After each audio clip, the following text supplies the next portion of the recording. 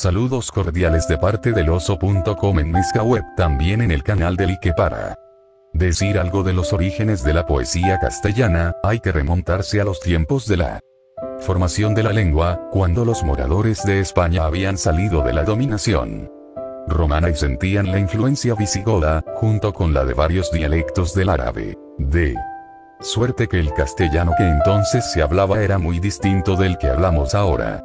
Pues estaba el idioma en sus primeros balbuceos.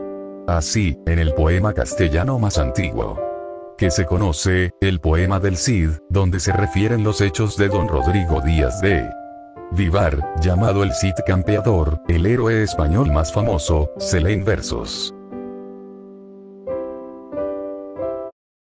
Likey